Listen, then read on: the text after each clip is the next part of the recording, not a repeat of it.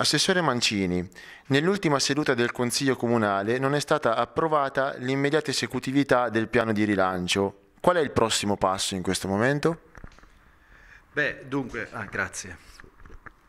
Sì, eh, abbiamo, eh, l'immediata esecutività ha bisogno di una maggioranza più qualificata rispetto alla, all'approvazione del, del, della singola eh, delibera che è stata apportata, quindi ha bisogno di almeno 13 consiglieri.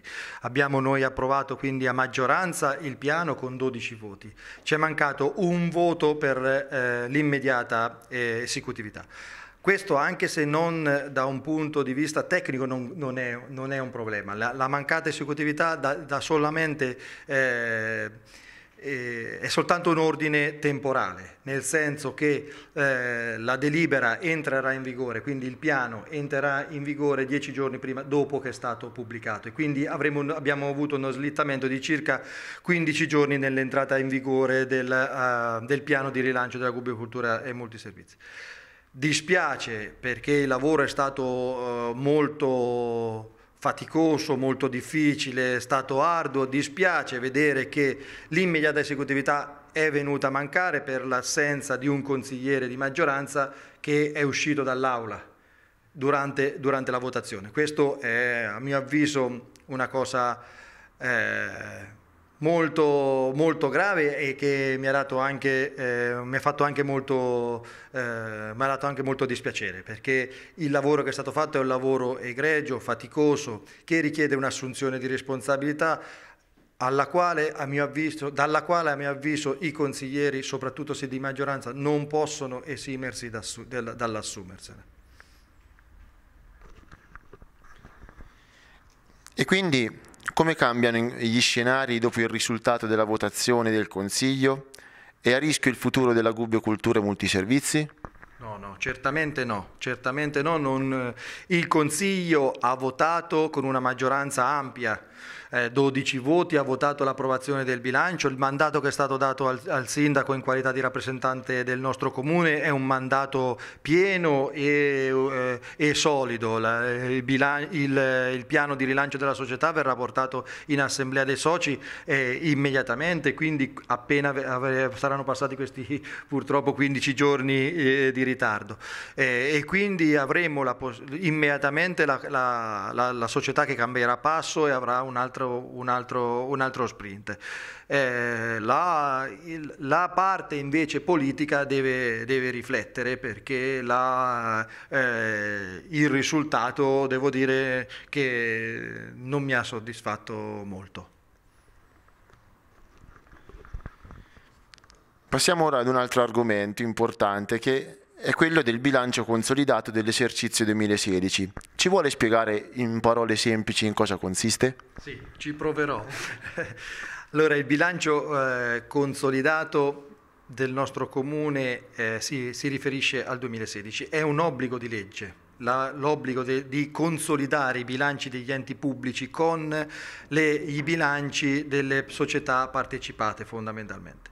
Quindi eh, noi siamo un comune relativamente piccolo e quindi la nostra partecipazione alle, a società eh, di vario genere è limitata alla Gubbio Cultura e Multiservizi. Le altre società di cui il comune è, pa- è, è parte eh, sono talmente piccoli e ininfluenti come bilancio che da, tali da non essere per nulla eh, eh, da non mettere in pericolo per nulla il, il, bilancio, il, bilancio, il bilancio dell'ente.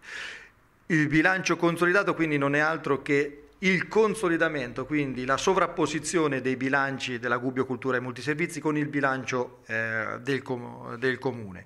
I due bilanci vengono messi a confronto, le partite che sono eh, reciproche, quindi i crediti che la Gubbio Cultura vanta nei confronti della, eh, del comune e i debiti che quindi il comune vanta nei confronti della Gubbio Cultura vengono elisi, quindi vengono tolti, vengono considerati una sola volta, altrimenti se facessimo solamente le somme algebriche le conteremmo due volte. Quindi in questo modo si vanno a verificare quali sono è uno, stru- è uno, strumento sperimentale, diciamo. È il primo anno che viene fatto, ha finalità puramente conoscitive, non autorizz- non è, non ha alcune attività e finalità eh, autorizzative. Quindi il bilancio autorizzativo del nostro comune è sempre il bilancio finanziario che è stato approvato a maggio con i suoi equilibri e assestamenti di luglio. Quello è il bilancio vero e eh, con il quale vengono fatti tutti gli atti formali del comune. Però il bilancio consolidato è un buon strumento conoscitivo con questo bilancio possiamo andare a vedere che tipo di influenza ha la società nel bilancio del comune. Ovviamente la Gubbio Cultura e Multiservizi si porta dietro tutti gli arretrati dei suoi debiti accumulati, quindi porta un valore negativo sul nostro bilancio consolidato di circa 1.300.000 euro è un bilancio economico patrimoniale, non è un bilancio eh, finanziario, quindi ha regole eh, più privatistiche che, che, pubbliche.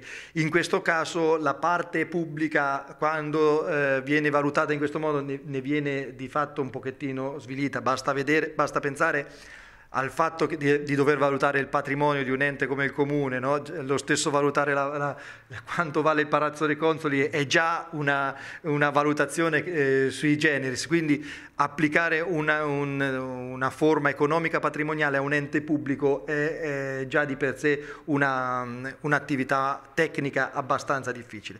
È però un documento molto importante perché è un documento conoscitivo, quindi come dicevo ci, ci, ci per, permette di tenere sotto controllo le partecipate, nel nostro caso è il punto zero, questo è il primo anno che viene fatto, quindi anche come indicazione è di poco, è di poco interesse, poco, va poco nella profondità delle, indicazioni, però già ti dice partiamo da meno 1.300.000 euro, vedremo il prossimo anno quanto sarà l'incidenza della Gubbio Cultura e Multiservizi, potremo anche in questo modo verificare anche l'andamento delle prime operazioni che sono state fatte durante il 2017. Alla fine del 2018 lo stesso documento darà anche indicazioni sul valore delle, del nostro eh, piano di rilancio, perché sicuramente l'incidenza che avrà la Gubbio Cultura e Multiservizi sul nostro bilancio consolidato è, sarà molto eh, inferiore.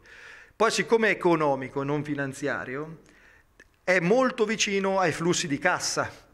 Questo per un ente pubblico è altrettanto difficile. Noi sappiamo che ad esempio i trasferimenti degli enti superiori hanno dei tempi lunghissimi, Parliamo, eh, qui parliamo di mesi quando va bene, quindi la differenza fra quando può essere accertato finanziariamente e quando può essere invece accertato economicamente un, un, un finanziamento è, è, notevole. Di fatto la chiusura della parte economica del nostro bilancio consolidato è meno 2 milioni e 200 mila euro. Questo però, ripeto, mentre per un'azienda privata potrebbe essere una situazione, è una situazione abbastanza eh, difficile, per un ente pubblico no, questo... Eh, eh, questa, questo parallelismo non può essere fatto. Il, eh, il, documento non a caso è ancora in fase sperimentale, è un documento a pu puri fini conoscitivi. Questo bilancio presenta un risultato negativo per 3 milioni e mezzo di euro. Questo che influenza può avere nel bilancio dell'economia del comune di Gubbio? Nel bilancio eh, finanziario nessuna.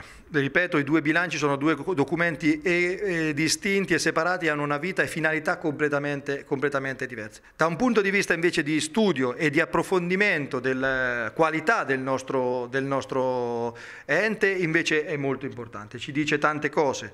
Ci dice innanzitutto che quel 3 milioni e mezzo, 1 milione e 300 mila euro vengono dalla nostra partecipata e quindi tutto il lavoro che stiamo facendo per rimetterla in sesto è un lavoro fondamentale per dare eh, futuro al, al, nostro, al, nostro, comune.